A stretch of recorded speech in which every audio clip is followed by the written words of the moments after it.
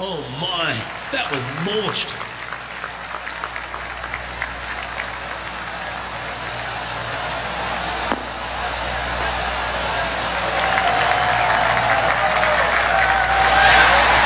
Got all of that one, using all the power to try and take it deep under par. Love them being aggressive on this par four. Great tee shot.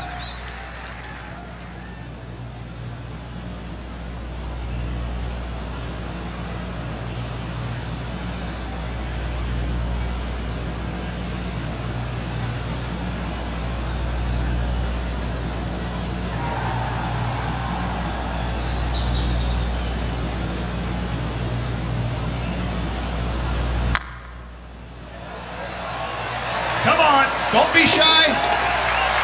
And Rich, what a start. Coming out of the gates very hot after opening up with an eagle. Talk about hitting.